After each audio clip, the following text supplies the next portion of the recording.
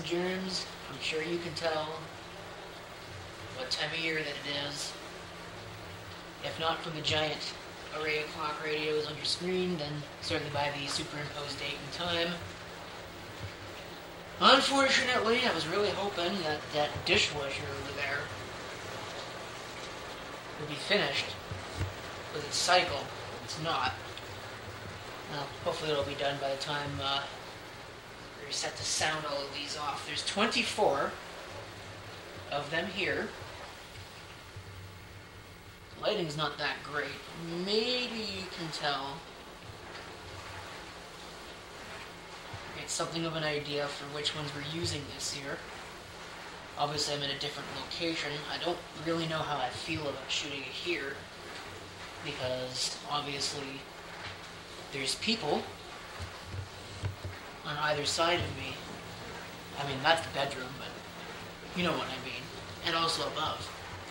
That uh, may not be uh, too thrilled with the idea of 24 alarm clocks sounding off all at once. It's only like maybe about 15 seconds, but still, some people have no sense of humor. And yes, I have the TV on. I was hoping that maybe there'd be some kind of New Year's programming on, but it seems like I have struck out in that regard. And also, interestingly, that camcorder, that is the Panasonic OmniMovie PV320D, is working fine. But my GE, sitting over there, the CG9911, seems to have suffered a blown, or failing anyway, because it does still actually work in rewind and fast forward, but there's a failing belt in it. So what I've done is I've hooked it up down there to a VCR, and we're going to record that way. I hope that this works out. I get all kinds of nerves about doing this every year. It doesn't really matter how much prep I put into it. And uh, this year I've made the grave mistake of forgetting my hearing protection. And I don't have any here, unless there happens to be some in the toolbox that's sitting over there, so... oh, I guess we are just going to do without that for this year. But I'll be right back thanks to the magic of videotape. And we will check in a little bit closer to the big occasion. Oh, and yes, I'm well aware of the fact that that says 327 for March 27th.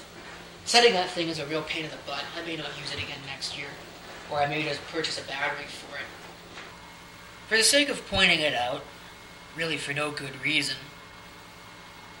I will point out that that Westclox over there, this one, uh, the so-called daylight feature is starting to work on it. Which means we're definitely getting closer. 13 minutes.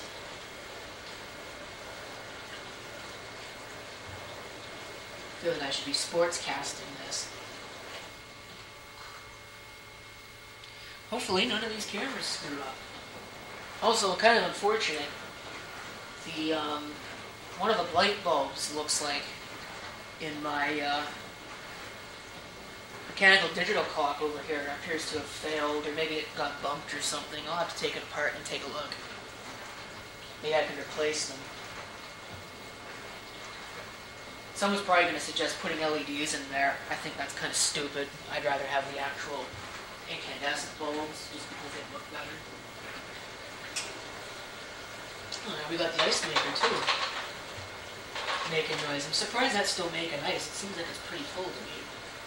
This year I've taken a different tactical approach to this. I've got everything plugged into a UPS in such a way that I can just hit the off switch on the UPS and hopefully it will shut everything off. And I won't have to go and flip the off switch on all these individual power strips. There's one exception. Uh, that Sony, that with the analog face, I think runs off of a battery.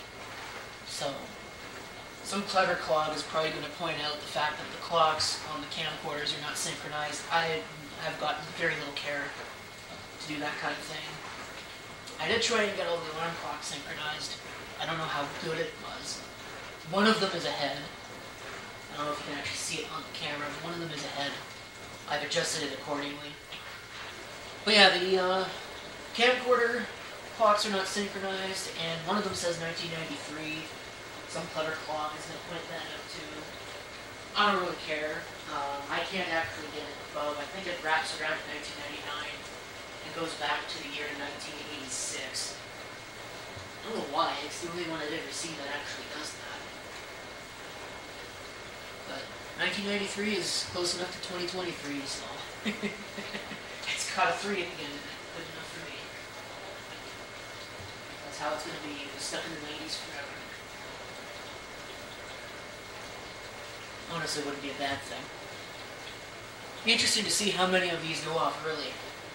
The ones with the analog movements. There's only two of them this year. Holy crap. You hear the tape order noise. Five minutes. Some of the really loud ones from past years, like the Juliette EL 1984, are not here. Last year, I think the mechanical one went off a little early. I know some music goes off early, some music goes off late. We'll see what it is this year. Not that you'd be able to tell anything from any of these cameras. Time goes by so slowly when you're waiting for something to happen. I can't actually see what's going on. Okay, well, there's the first one.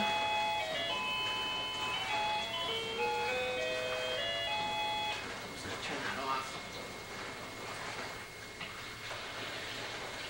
You only had one go off early.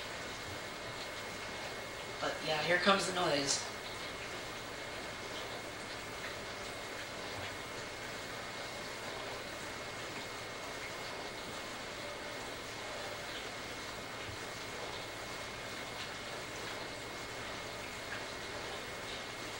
Get into position to turn this off. This is gonna be loud as hell.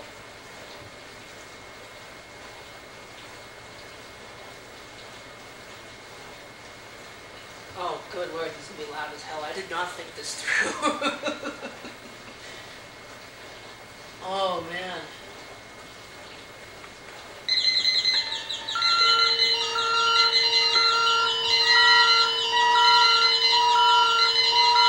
Oh, come on. There we go.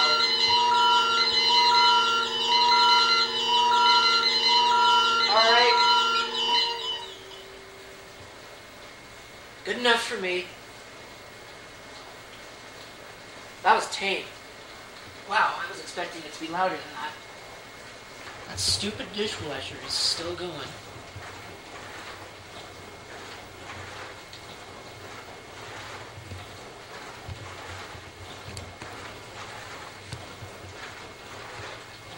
All that effort to set all that up.